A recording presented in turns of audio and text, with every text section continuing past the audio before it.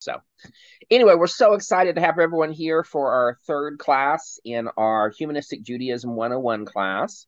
Um, I was curious for folks who have been to our previous two classes. Um, our first one is kind of an introduction on the whole thing, a little bit of sharing of our stories. Set, last week was Martin delving into the question of what is Judaism? What are the Jews? And so I thought before we move into this week's topic, I thought we'd take a few minutes just to discuss any um, observations, thoughts that may have sprung up from the previous two classes, things that maybe you've you've considered or conversations that have come up. So if if anyone has anything like that, feel free to unmute yourself.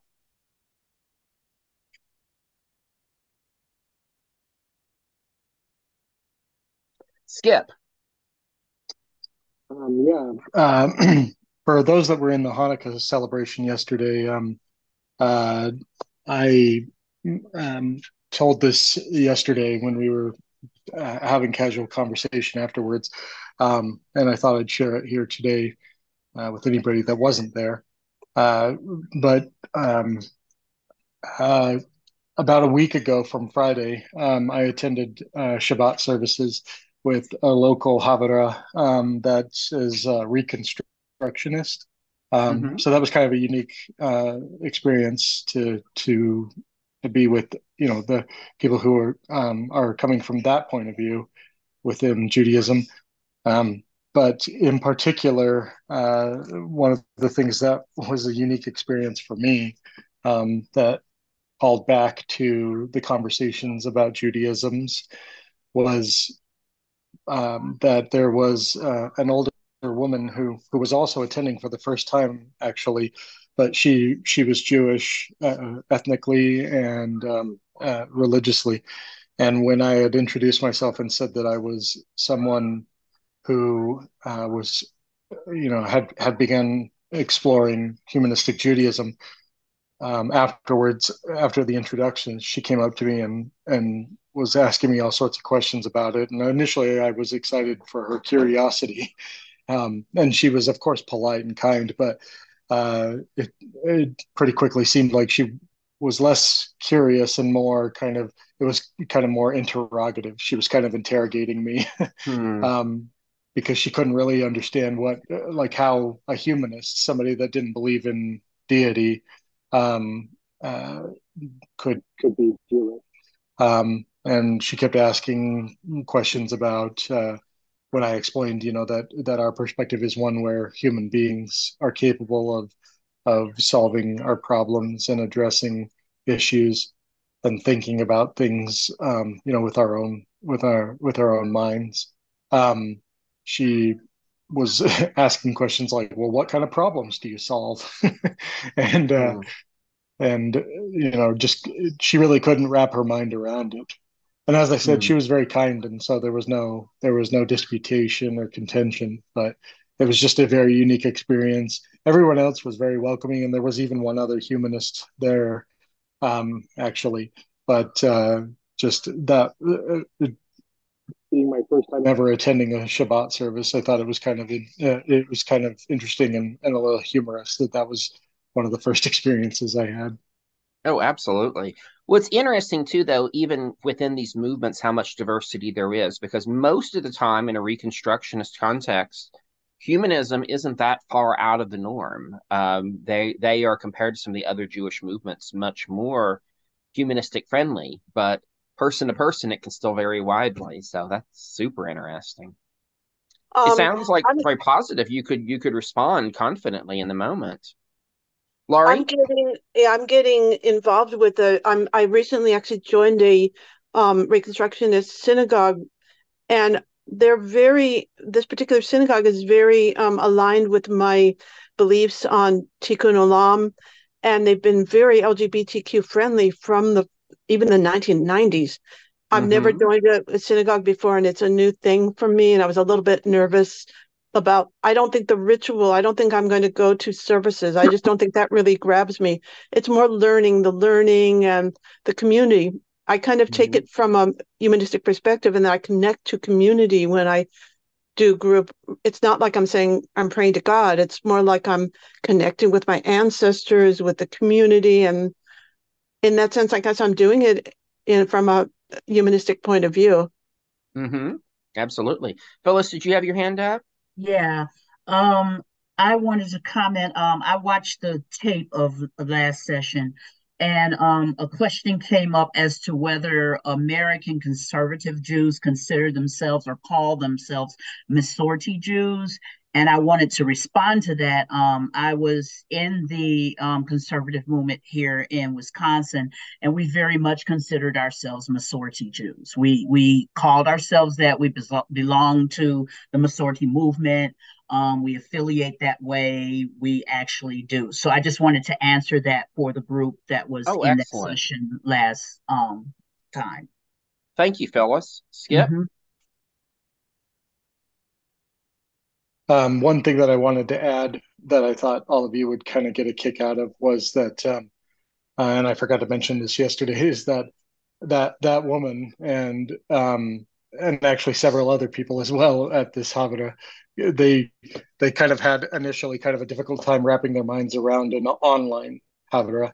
Like they couldn't, they they had a difficult time understanding that you know we meet from around the world together you know, uh, for the common purpose of of uh, you know um, worship, for lack of a better word, as humanistic Jews.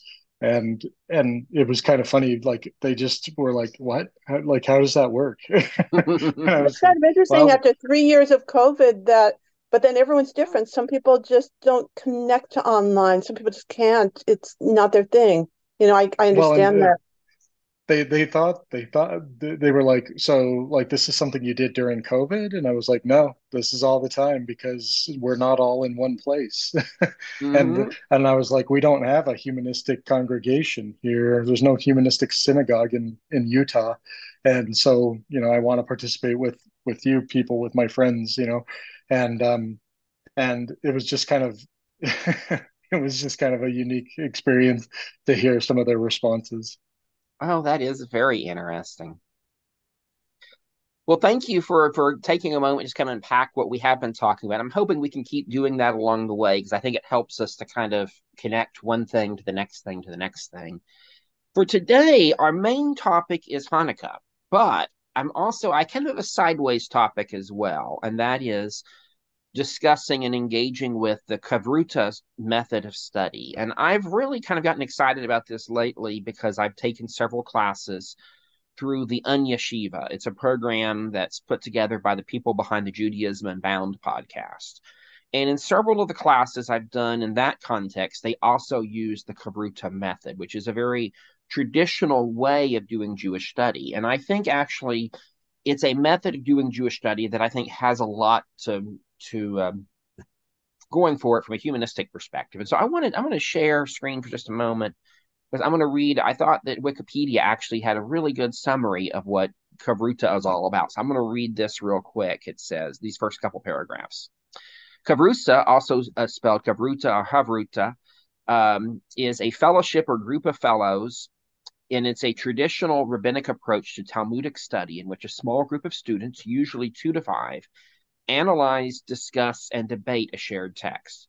It is a primary learning method in yeshivas and uh, kollels, where students often engage regular study partners of similar knowledge and ability, and is also practiced by those outside the yeshiva setting in work, home, and vacation settings. The traditional phrase is to learn b'chavrusa in partnership. The word has come come by uh, Nimi to refer to the study partner as an individual, though it would be more lo- lo- logically described the pair.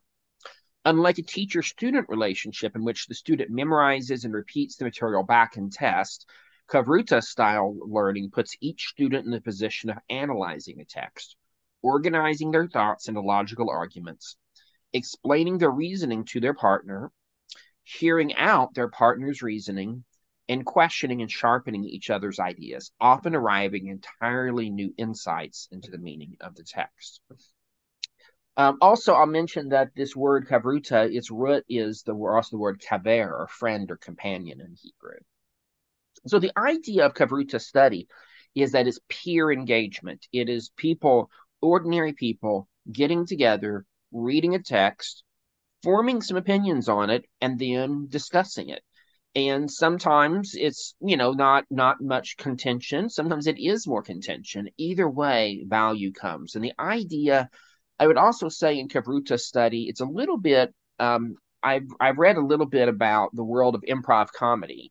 And in the improv world there's often this idea when you're doing an improv routine with someone where you're in the moment acting you you try to not say no. You try to always say yes to further the skit going on you know to further the comedy. Um, in the same way in, Chavruta study it's not so much about trying to have the right answer but rather it is as a group of two three four five people talking through a text and then uh, having ideas and and and seeing if together you can come up with new ideas. You're seeking the creativity of this other person and also, ideally, again, it's the best Chavruta experiences are where you don't necessarily agree completely. I was most recently paired in Chavruta study with someone who was much more orthodox leaning in his way of engaging with the text. And it was actually fascinating. He and I had some great conversations. Even though we we really didn't agree much, we found lots of parts of commonality. And so today I wanted to in in doing this study and look at Hanukkah, I wanted to engage with that kind of study. So I'm going to go ahead now and share screen again. And so for this, for our study, and this is, uh, we're using a, a Sefaria source sheet, and I sent out the link for that. It should be in the chat as well. My suggestion is when it comes to uh, when we're, we're, we're going to do breakout groups in just a little bit for our, our discussion together. So I'm going to spend just a few minutes kind of orienting us to this to this document where we're going with it, and then we'll do some we'll do our breakout groups.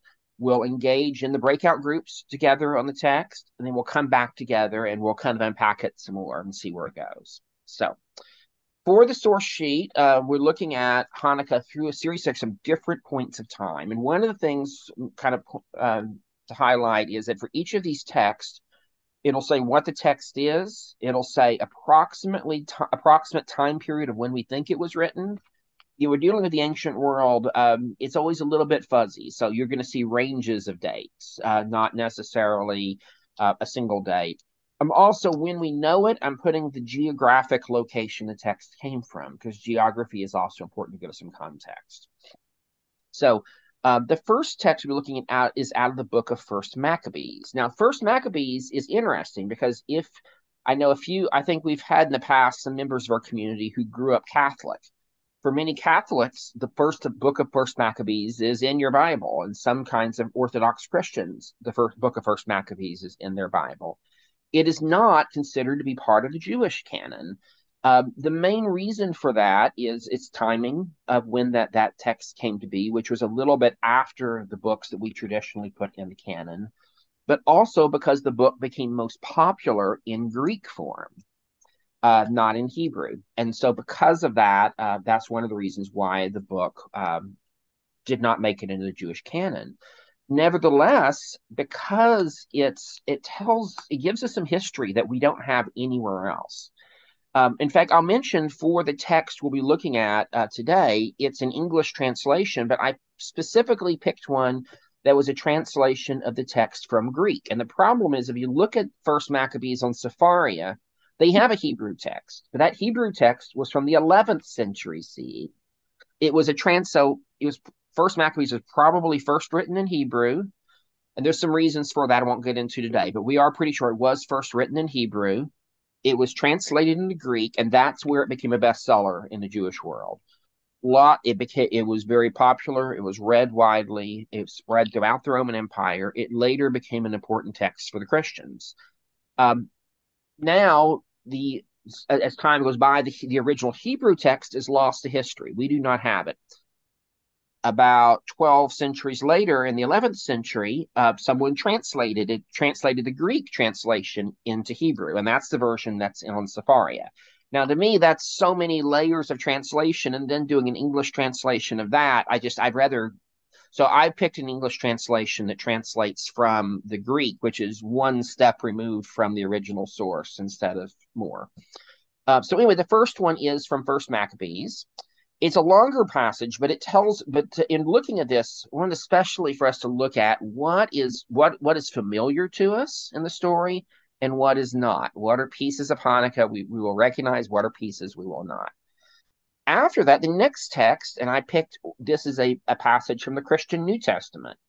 Um, if you ever hear folks say, where's for Christians that may push back on the idea of Hanukkah, I always point them to the fact that Hanukkah is in the New Testament. And so, but also what's interesting is this is also a very early, one of the earliest texts we have about Hanukkah outside of Maccabees, because this is circa 90 to 110 CE of what was being said about Hanukkah. So we have that text.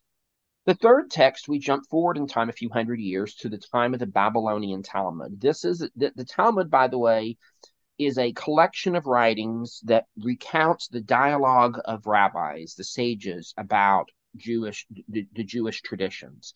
And particularly, it was envisioned as or described as being a an embodiment of oral Torah, the idea that Moses gave Torah, the written Torah, at Mount Sinai, but he also shared this oral Torah with the people of Israel. And eventually, the rabbis at this point in time in captivity in Babylon wrote it down. Um, if you've ever read the Talmud, it is a crazy, complicated. It, it's it's it's it's a it's a trippy read. Um, but in this, we have just a little excerpt that talks about Hanukkah, and we see the evolution. And notice when we get to this text, what is present at 500 CE that was not present at 100 or so BCE? Because some things have changed. We then jump ahead some more to 11, somewhere between 1170 to 1180 CE with Rambam uh, in his Mishnah.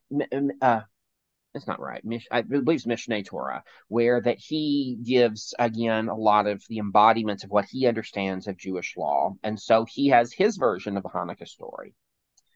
And finally, we jump forward several, uh, actually about a thousand years to I have a short reading from the Reform movement on their take on Hanukkah. And finally, at the end, we have some blessings, uh, both theistic and uh, non-theistic to look at. So, so anyway, I want with that orientation out of the way for our Chavruta. Let's see how many people we have here today. Looks like one, two, I'm going to do it by screens because some of y'all are more than one on the screen, obviously. But we'll do one, two, three, four, five, six, seven, eight, nine, ten. It says 13 at the bottom. 13. Okay, so I think what we'll do is we'll break up into four groups of about three people. And so is the is the the um, text going to be also shared to the breakout groups? I'm in the process of trying to print it out, but um, I'm not quite there yet. Yeah, what we'll do is I is we'll put it in. I'll put the link in the chat now. So my suggestion would be, I'll stop share screen for a second. What I'll do is I think the chat shares. Down.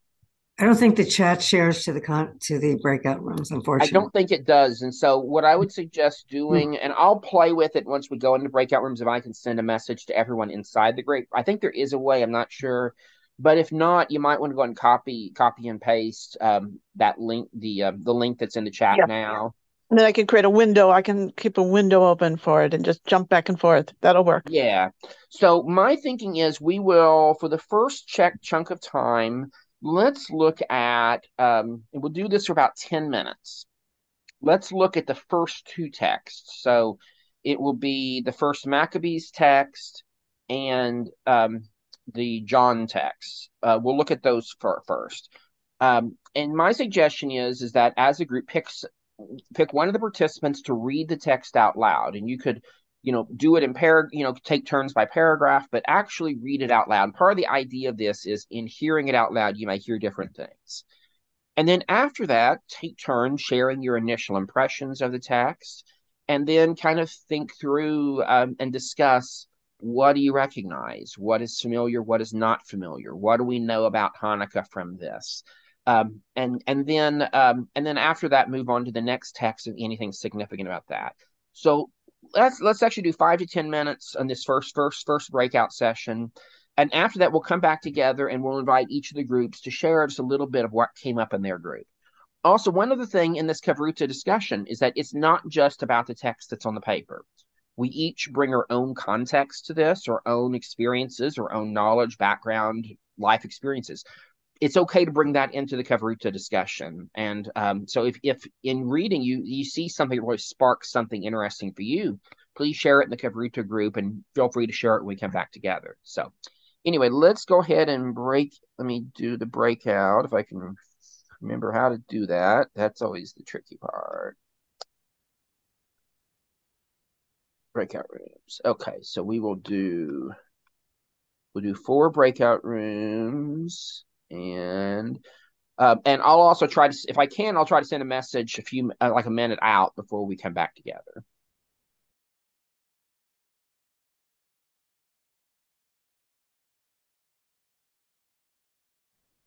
Okay. So, how was that? Was that a good conversation? Oh yeah. I yes, so. I think so. Okay, so yes, for the I first, so. So. for the first room, and that was I think uh, Carla, Casey, Paula, and Betty Ann. Uh, any thoughts that y'all had from from these texts? I just we we we noticed the oil part wasn't there, Mm-hmm. mm-hmm. and we talked about the fact that the at least I felt that the the Jesus dedication one said basically every year we're going to dedicate rededicate or we're going to commemorate the dedication. So that's Hanukkah. Uh, mm-hmm. Uh, was there anything else anybody else remembers that we talked about? Yeah, just like that we didn't know that story very well. right. Mm-hmm. So for the second, oh, I forgot. I need to hit the record. Uh, okay, recording is still going. Okay, good. So for the second room, I think that was Jamie, Liz, and Phyllis. Uh, what observations did y'all have? it was just me and Jamie. Um, we um, talked about how the story um, has changed basically based upon you know where you are and what you're going through you know um and, and even in different countries and cultures and how you know um we've experienced we experience it based on what we're experiencing in life um and how even in our own personal lives you know depending on what you're experiencing and how your culture is and how you see things in life and how um, in my life personally i now you know I, I, was taught two very different versions of the story. I i was taught a reformed version and an orthodox version but even now i see it differently because of my own life personal experiences. And now i try to practice the hanukkah story in terms of concepts of freedom and justice um, versus some fairy tale versions that may or may not have ever existed. Mm-hmm. Okay. Yeah.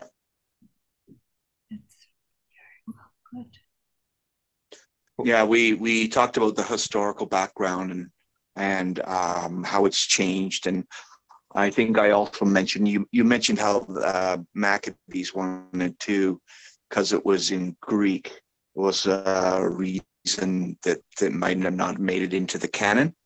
And mm-hmm. um, I just brought up that that's probably true as well. But also in Rabbi Felix class, because I have two sessions of Hanukkah, he says also true that the, the rabbis hated the Hasmonean dynasty.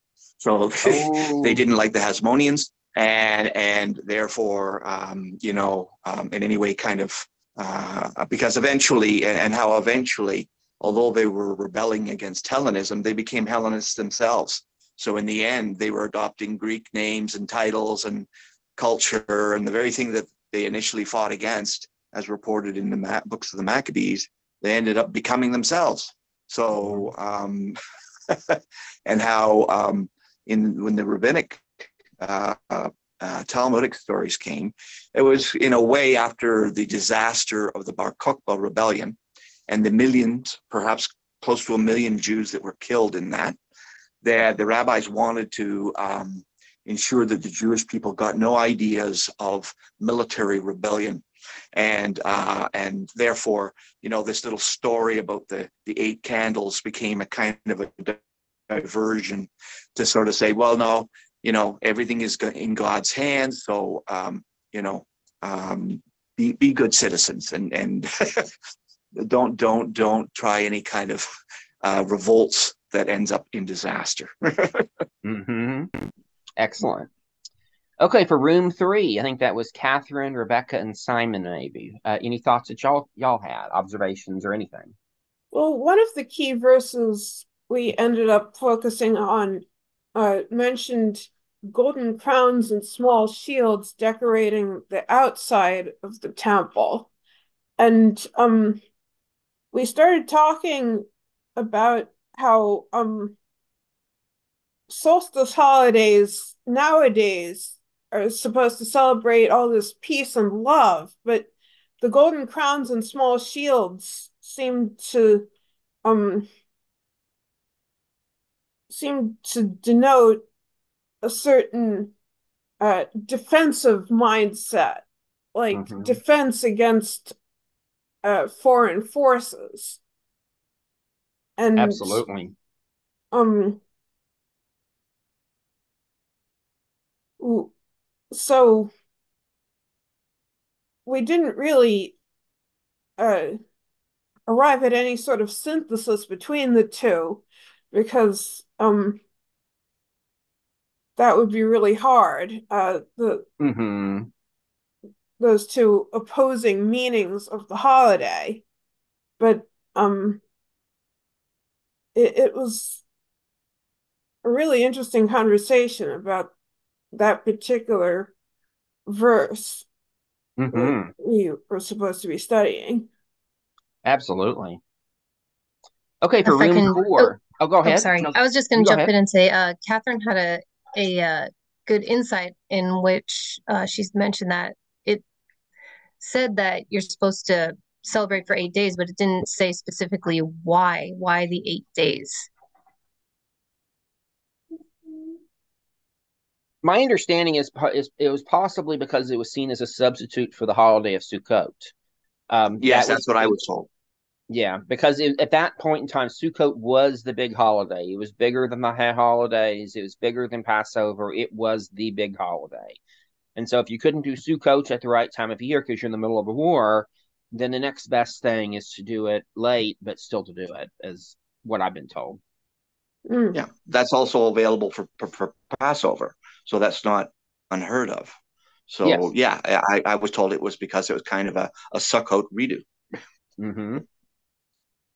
So room four, I believe, was Adam, Laurie, and Skip. Uh, did y'all have any observations you'd like to share? Uh, yes, um, Skip sort of pointed out that it was very, um, very natural. Na- sorry, nationalistic, mm-hmm. um, and um, Laurie uh, sort of emphasised that, that their emphasis on cleanliness, and I pointed out that um, often people with a ultra nationalist, ultra conservative mindset tend to be sort of a, very concerned with purity uh, and cleanliness. And I, I observed that in, in part of the text, um, it seemed at least OCD adjacent um, mm. in its sort of ritual purity and, and the pedantic the pedantic nature of it. Um, so yeah, it looks as if that's a lot of those types of people um, are like that now, and it looks as if a lot of people had the same mindset over two thousand years ago. Mm-hmm. yeah, um, I, I, um, Adam was um, uh, provided a particularly good insight in um, when we were talking about uh, about that emphasis on um, that you know it, the way that I framed it was that um, you know it, the otherization, where if anybody comes in and you know steps foot in the temple, let, let alone touches anything or or or uh, you know um, d- performs anything in the temple, then it's defiled and just tear it down. And and Adam spoke about that that purity culture um, idea and um, also talked about um, kind of the um, essentially what kind of boils down to what we would refer to as racism. Um, you know that uh, that that was observed, um, you know, with uh, the Jewish people under the Maccabees, and um, Laurie also commented on uh, kind of a unique experience. Um, I'll, I'll let you tell it, Lori, but uh, in modern times, um, where uh, you know, with a with a more orthodox community. But go ahead, Lori. Where my, my grandfather was pretty much Orthodox. He was an immigrant from Europe, and he used to close. He used to keep his shop, his shoe, shoe store open on Shabbat on Saturday. He wasn't that religious, that totally obsessively religious, and the community was very upset about that they just really got upset about the idea of his doing business on Shabbat. Um, even though he was mostly Orthodox and he, in fact, studied Torah a lot, but he was um, deviating from that strictness.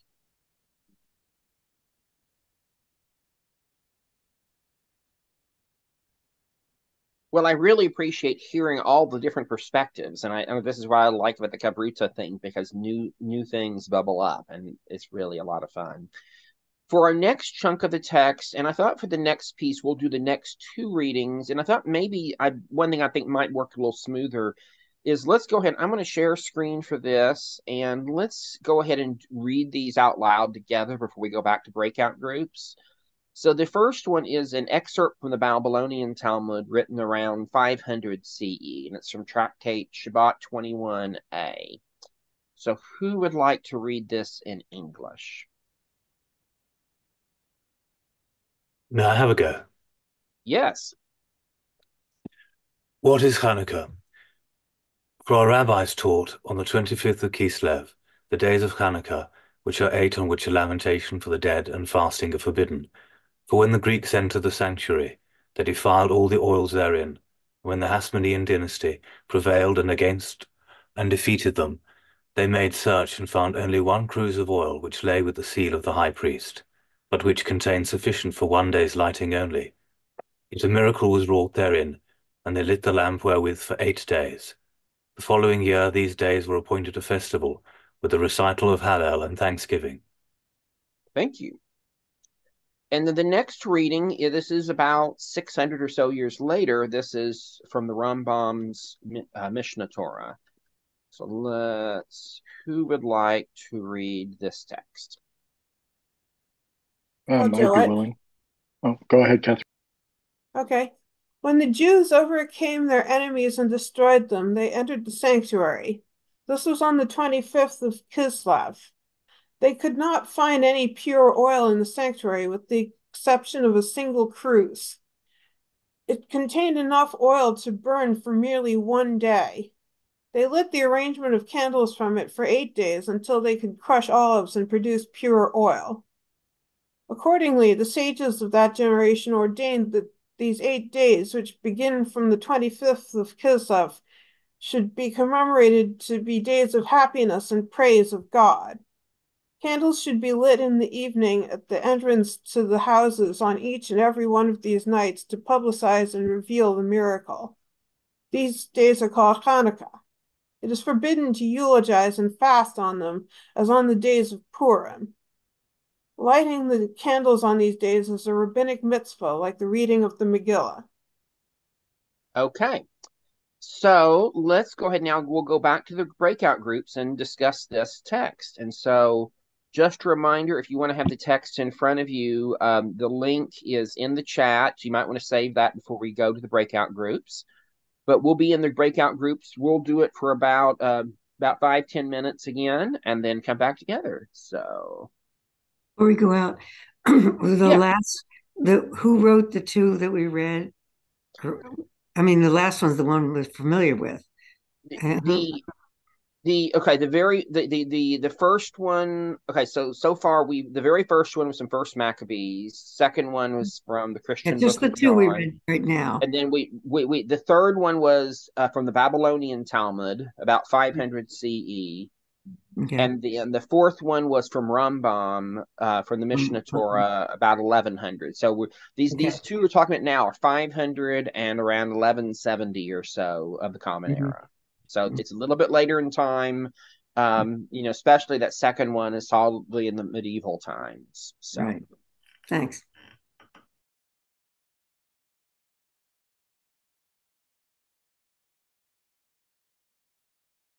Okay, everyone. So what what are some things we saw different in these in this second round of text? Dates back to ancient Greek and Roman times. It's a story that most of us know or knew. Mm-hmm. The custom of lighting the Hanukkah. Mm-hmm. One thing that came up for us is that the story seemed like it got simpler over time, like not so much a civil war as the war of the Jews, you know, against the Greeks or whatever. And then we we realized that like simple stories get passed down, stories get simplified and kind of smoothed over, complexities get smoothed over over time as it goes down through the ages. Mm-hmm. Yeah, uh, we talked about um how uh in the context of the previous set of readings, it seems like the oils are just one example of things that the Greeks defiled. And um, I I found myself looking at the defiling through the lens of what Group Four had said about um, about purity culture and I started thinking maybe the Greeks didn't just actually destroy anything. Maybe they were just there and that was bad enough. And the thing about purity culture is it really isn't sustainable. Uh, I mean, things get into each other, life happens. so maybe Hanukkah needs to be uh, adapted into a holiday about sustainability. Like, how can we exist sustainably with other cultures and still be ourselves? Hmm. The whole thing with the dangers of oversimplification reminds me of something when when my son was we were my family was just exploring Judaism for the first time. Actually, those of you in the service yesterday have heard this story, but I'm gonna tell anyway, very short because I think it's a good one we had and he really it really captured his imagination hanukkah. But then a month or two later we were attending a greek cultural festival in our city. They were having food and music the whole nine yards. It was great. We were as we were walking in all of a sudden my son looked at me and he's about six years old then grief stricken and says we can't go in there. It's like why? This would be fun. He says what if they find out we're jewish? They're, they're greeks and of course, we explained, had a lot of conversation then about, well, a lot of time has passed and the story is a little bit oversimplified anyway, but modern Greeks are not the same as ancient Greeks, and we'll probably be safe at the Greek Cultural Festival. But it did make me think about, you know, what messaging do we send our kids? And I do think children, especially, they love good guys and bad guys, um, clear cut, you know, no grayness. But reality of it is, is that life is messy and complicated, and um, you know maybe you know maybe the stories we tell our kids we need to be asking them questions about but also even if those are the stories we tell our kids they probably shouldn't be the kids story the exact same stories we we resonate with as adults. Skip? Um, i really like the way that you um, brought that up where you talked about like the good guys and bad guys. That was something that i mentioned in our last breakout session is that with the with the story in the book of maccabees um, you know, it's it's talking about how they vanquish the enemy, basically vanquish the foe. It, excuse me, and um, you know the the and they were victorious, and so they were triumphant and and jubilant afterwards. And and I mentioned to, to Adam and Lori that it's it's frustrating to me when I read texts like that that that talk about war and bloodshed in ways like that because um, it and Lori, you know, perhaps correctly um, uh, attributes this to um, to presentism on my part, but uh, it's very frustrating to me when these texts don't talk about the reality of war, the truth of war. Um, that even when there is an enemy that must be defeated, um, it, that it's still horrible. It's horrible for the people fighting. It's horrible for the lives lost. Um, you know, it, it, it, if it's ever necessary, and that's a debate for another day. If it's ever necessary, it's a necessary evil. Um, and yet the the story as we see it in Maccabees is you know Judas or Judah Maccabee, you know he's the hammer, and and you know they, they were victorious, and and it's just that oversimplification. We talk about oversimplification, that oversimplification of what war actually is. It's it it's always very frustrating for me. Phyllis, and then after Phyllis, Adam. So um, we talked about that too in the first session um, about the idea that it was a really, really bloody war, and most people don't ever mention that to their children. And in fact, the reform movement, you know, glorif- glosses over that altogether and and refuses to talk about the fact that it is a bloody, bloody war. Um, and in the second part, we talked about um, in our session, we talked about how um, this is the fairy tale. This this version here is the fairy tale that we all choose to either accept or not accept, or debate about or contest, or this is the story we all know about the oil, you know, and and you know the truth is this this is the part we fight about whether we accept this as the miracle or not. Um, and it comes down to whether we decide we believe in the miracle. You know, it was this a miracle or was it not? Was it how do we define miracle here? And and we were laughing in our session that, you know, you can define miracle however you want to. I believe there was a miracle, but was the miracle is was the miracle that there was a human who decided to stand there and monitor the burning of that oil and for eight days. You know, I, I, believe there was a miracle. You know, maybe the miracle was that there was some smart human who knew that there was only enough oil and it was going to take them eight days to go get some more oil, and somebody monitored that burn. You know, I mean, come on, we we it, there are parts of the story that are missing if it truly ever happened. Um, you know, it, it could be a fairy tale, there could be some truth, but you know, like you say, this is a war story, and there's probably some private who stood by the burn and monitored the burn and made sure it didn't burn out for eight days because he knew there was gonna be eight days that it took them to go get some oil. And that's the part we don't talk about. You know, I mean, come on, you know, let's just say that you know in the in i was raised in a very orthodox christian type of family. And the one thing that they taught in our in this religion is that faith without works is dead. And that's the one thing nobody ever understands in this christian faith is that faith without works is dead. What they all believe is jesus gonna fix it. That's the part they hear.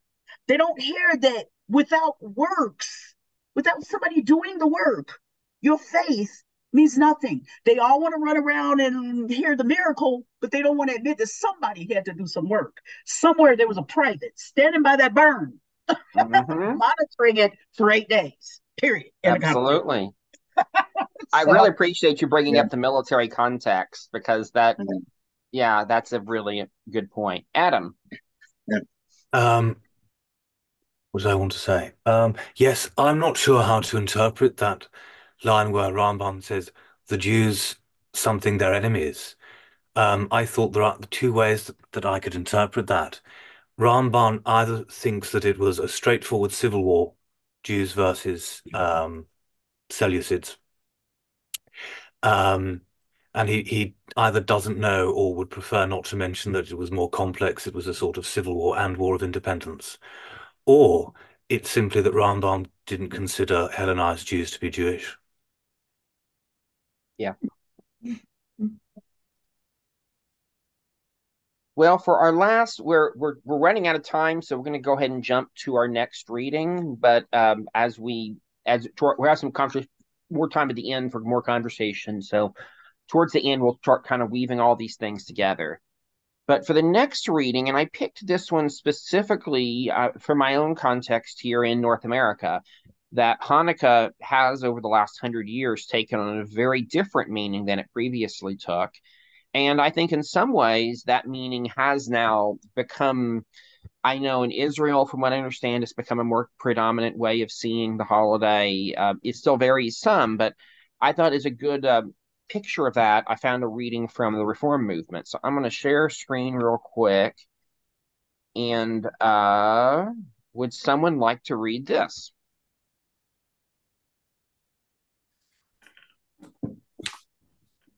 I can read it. Although okay. the practice of lighting the menorah, also called a hanukkiah, was common throughout much of the 19th century, North American Jews tended to neglect most of the other traditions and practices associated with the holiday. By the 1920s, however, Jews increasingly added gift giving to their Hanukkah celebrations, prompting some people to refer to Hanukkah as the Jewish Christmas. Should I keep reading? In some Sure. way, the transformation of Hanukkah is linked to the growth of North American Jewry within its unique environment. The elevation of Hanukkah to a major holiday was partly the result of Jews accumulating, uh, acculturating themselves to a North America that was overwhelmingly Christian in population and symbols. Although Hanukkah had become an important holiday among North American Jews by the 1920s, it would be incorrect to regard it as an invi- imitation of Christmas with an emphasis on the exchange of presents. Rather, North American Jews use this holiday as a celebration of family, reinforcing Jewish identity in a place where populations population may be overwhelmingly Christian. Hanukkah is a means for North American Jews to feel a kinship with their neighbors while simultaneously asserting their Jewish distinctiveness.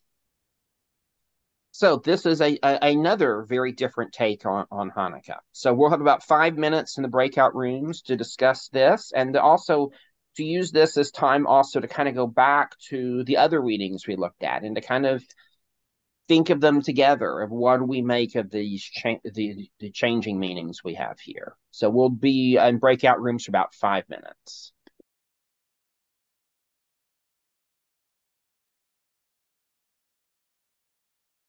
James, are those coveralls comfortable? They are. That's why I wear them. No, they're kind of my everyday wear in the winter. I I just don't see the point in regular pants with the tight waistband. Life is too short for that. I got a pair. I know mine are very comfortable. I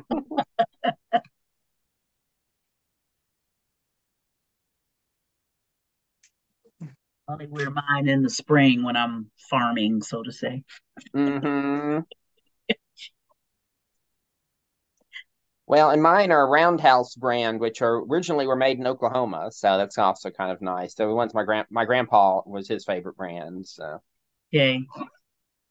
Wear Carhartt out here.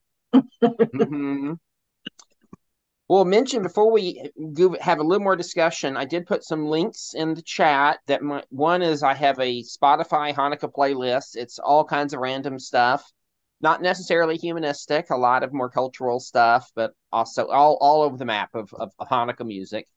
Uh, also, I put a link to some writings by Rabbi Sherwin Wine, the founder of the Humanistic Judaism Jewish movement on Hanukkah, and finally a resource page from the SHJ about Hanukkah. So just wanted to share that. Um, so for for our kind of close out our conversation, as we're kind of thinking through, kind of synthesizing all the things we've talked about today, and particularly what y'all have talked about in the last few minutes, your breakout groups. What do you think? You know, there's definitely you know what that last comparing the last reading with the first reading, it's Hanukkah has evolved radically. Um, Mhm. what do we think about that? What's what's our what what's our uh, push? What's what's our responses to that? Well, um, I, I was saying uh that um that in a way, calling it a Jewish Christmas sort of belittles the fact that it comes from a totally different type of story than Christmas does. Mm-hmm. And um doing it to fit in uh sort of goes against the original uh story of the holiday where um the the whole purpose of Hanukkah was like not trying to fit in. So in a way, Mhm. the temple has been defiled again. That's a fair point. We just like that. It, we we Yeah, we we touched upon that too. Go ahead. Oops. Go ahead, Jamie. Oh, Oh, no, no, oh, we no, thought that it was ironic that was the initial the initial stories what happened? The initial stories are all about resistance to assimilation and acculturation. That's the foundational stories, right? In the Maccabees Mhm. is is really about fighting against assimilation and acculturation. Um, and then now, all the way to what we have today, it's very much an, an acculturated celebration. Mm-hmm. So it's it's it's an eye-ring. It's kind of gone, um, well, kind of the way the Hasmoneans went. they Mhm. they went resisting Greek culture, and then they ended up assimilating Greek culture in the end. So um, I mean, where would we be? I mean, uh, like someone said, I think in a previous session, you know, to Haredi Jews, you know, we're not Jews. So um, basically, um, where would we be if we were at that time? Would we would we be would be on the side of the more Hellenistic types of Jews, or or the the more zealot types? I mean, I don't know. It's a good question. Adam. Hello. Um, I'd probably be an Epicurean or something. I'd I'd probably leave Judah and go head straight to Athens. Um, anyway, um, the the whole the whole Chrismukkah phenomenon, um, as um, as we've probably all noticed during our session, uh, traditions weren't weren't handed down from heaven thousands of years ago and remain static. You know, they're they're constantly evolving, um, or or simply being um, created whole cloth. Um, so I think Chris Chrismukkah is just sort of a, a continuation uh, of that process. Uh, I think it's a shame that people felt the need to assimilate, um, or still do. Um, but I think now that it's done, Chrismukkah is is quite harmless and a bit silly and, and quite fun. I- Um, Did it actually start before Christmas and Hanukkah actually overlapped once one year, or, or that maybe that was Thanksgiving or whatever? Uh, Skip Skip mentioned that in America it's becoming it's it's gaining the commercialization of Christmas, which I was unaware of. Uh, so I, I think that's sad. It's a smaller scale of it. I was just at Target uh, yesterday, and there is a small Hanukkah display of various products. Now, that said, did I buy some of those products? Yes, I did. uh, do we decorate our house with Hanukkah stuff like people do Christmas decorations? Yeah, we do. So we may be, you know, our family may be doing exactly the commercial, and I have mixed feelings about that. But I mm. also think in I think the to me what was happening in the 1920s, my understanding of why that time period in particular, it was when there were some Christian evangelistic efforts specifically aimed at Christmas time. And we're trying to get Jewish kids to come to the church and have a little present and come to our Christmas party. And many Jewish families were very uncomfortable with that, but they also felt like they needed something that was appealing to their kids too. And I, um, as the stepdad of a teenager now, but when, when I I can I can recognize the value of that. I mean, as a kid, you know, holidays involve presents are a really big deal, and so I I even though I think might have question might have some objection to it in some ways, I also do think there's something valuable kids holidays that capture their attention. I think there there's value to, and it's nice giving gifts to loved ones. hmm Yeah. Um, I, we, we do live, like it or not, in a very commercial country. So it's possible that Hanukkah needs a little bit of commercialization in order to hold its own. Mm-hmm. And and um, of course, it still doesn't run on the same calendar as Christmas does. Uh, it doesn't always start on the same day of the Christian calendar, so in that way, it's still holding its own. So it's a balance to strike, living in harmony with others and other cultures while still being oneself. It's a balance to strike, and some people spend their whole lives trying to strike that balance. Mm-hmm. I question whether we are holding our own at all. I really seriously question it. Having grown up now in both faiths, um, this year I turned on Sirius Radio, which didn't put out its Hanukkah playlist until the first night of Hanukkah, to hear on the first night of Hanukkah, my true love gave to me. I was disturbed. Yeah. I was greatly disturbed. Um, I don't even like that song for Christmas, and leave alone to hear it dwindle down to the eight nights of Hanukkah. Um, that was very disturbing to me to hear that. Um, I think there's some things we still need to have a very, you know, Maccabean response to, and that should be one of them. Okay. You know, that is just, you know, there's some things we need to resist. And, you know, I look at every year, I look at the music that's coming out during Hanukkah time is becoming more and more Christmas music. Um, Mhm. It's becoming more and more imitative of, you know, there's there's a line to draw in the sand. It's okay for us to have our own music. It's okay for us to have our own stuff that we have beautiful sounds, we have beautiful tones, we have, you know, our music is not on the main beat. It's very, very disharmonious, and it should stay that way. it should Okay. sound like our music. It should not start sounding like the first, the 12 nights of Christmas. That's just Mm. wrong. It's just wrong. I just think that that evolution is fine as long as you remember the essence of what you're trying to be doing and you don't lose the essence of it. So I don't mind some and, and to to what you were saying, Phyllis, that's losing the essence. Yes. So, You know, but but there are th- there are ways to evolve without losing the essence. And the other thing you're saying is, you know, how does the rest of the world see us or fit into our try to accommodate us? That's what they're doing. We're Yeah. not doing that. That's what they're doing, and we're disappointed. But Yeah.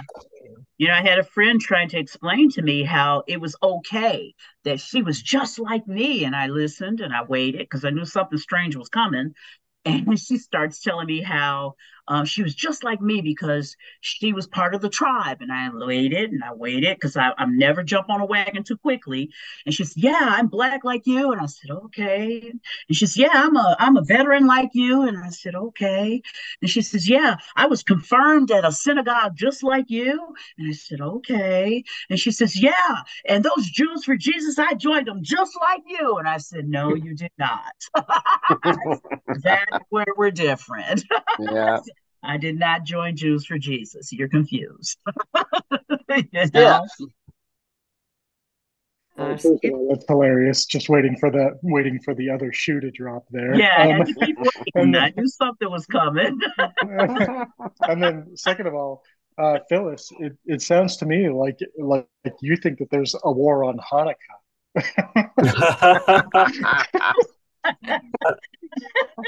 Mm. Well, I think that's the easiest one to attack. It's, you know, I think the next one they're attacking, honestly, is Purim. You know, there are so many satyrs that are not satyrs anymore. And it's just, I sit back and I watch it and I just shake my head. I'm just like, oh my goodness.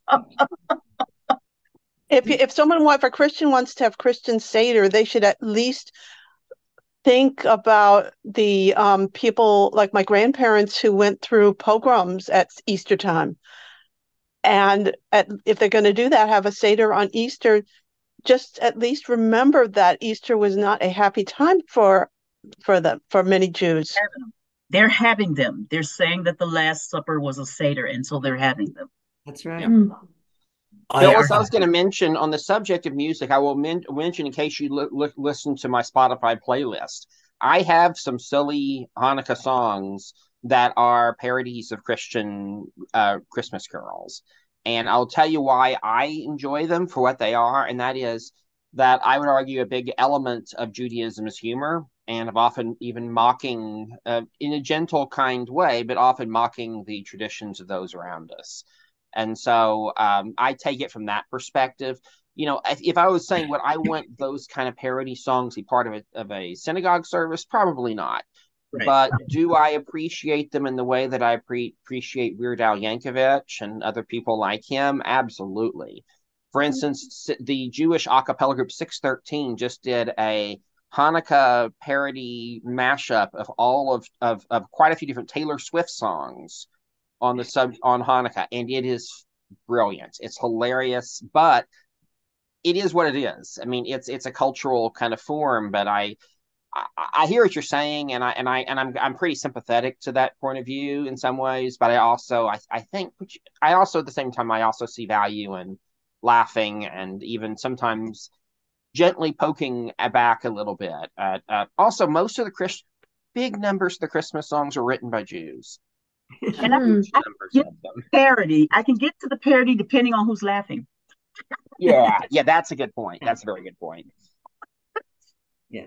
I I happened to listen to a podcast um, a month or so ago, and they were saying that um, there's no evidence of seders until centuries after Christ's lifetime. Right. Yeah, at least in, in its form. That's I mean, true. was was there something kind? I mean, was there a, a a Passover meal of some kind that was observed previously? Probably so. But the Hmm. Seder, as we know it, its earliest roots are actually, uh, my understanding was something like the Greek Symposia, and it was crafted as a because the Greek Symposia symposium were so popular. These events where people would get together, eat good food, lounge about, drink lots of wine, and talk about heavy stuff. Um, and so lots of Jewish young people, especially intellectuals who wanted to party, they wanted to go to these things. And my understanding is Seder in part was crafted to be an alternative to that. Um, so it is it is another form that's it's a cultural form that's continued to evolve and change over time. So I just think that, you know, it, it just speaks loudly to the need for education, you know, the Mhm. need for continuing to have open dialogues and to correct misinformation when we hear it and see it. Um, you know, and I worry that, you know, the lack of the open dialogue and the continuing to have, you know, um, conversations in in in areas where we have um, you know, mixed company, so to say. You know, we we can't continue to have Seders with just ourselves. We have to educate our neighbors. We have to educate communities that want to aspire to be us, you know, mm-hmm. or aspire to take or aspire to take our traditions and mock them and make fun of them, you know, because when I heard this song, it was not in parody form. It was, it was, they were seriously singing on the 12 days of Hanukkah. And I was like, wait a minute, first of all, there's not 12 days. And second of all, you know, what are you talking about? Your true love gave to you eight days of Hanukkah. Wait, stop. you know who's singing the song and who made the song i went and looked up looked up the song and it was like oh no oh no yeah, no, that sounds dreadful, and and, and it also sounds uncreative. That's the other thing. I mean, you're picking Right. the most most tedious cliche of Christian uh, Christmas songs, and yeah. right Real quick before we have some folks leaving, I just want to mention that our next we are not having a class in two weeks because that's uh, Christmas Eve, and a lot of folks are doing family stuff then.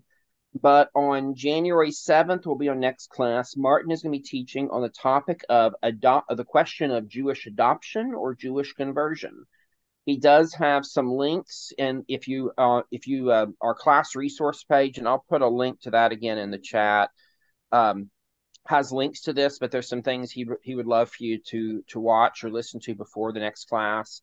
But that'll be coming up on January 7th, and then after that, just kind of teaser um, coming up is on January 21st. I'll be teaching on the topic of Jewish diversity from Orthodox to humanistic. Um, and there's again, we'll, we'll we'll send out an email as well, some some of this as well. But just wanted to mention that. And other than that, I'm going to turn off the recorder, but we will leave the uh, Zoom open for a few more minutes if anyone wants to continue visiting. And I'm just really excited y'all got to, everyone was here today. It was a really good session and really appreciate it. And also, real quick before we go though, what did y'all folks think about the Chavruta during the breakout? Was that was that a was that a way of doing conversation y'all felt comfortable with? How, how I liked it. I liked it a lot. It just felt like it was a more active kind of learning. Good, good. Okay, I I think it. we'll I think we'll keep doing that then because I, I I thought it worked worked really good. So okay, I'm gonna hit stop recording and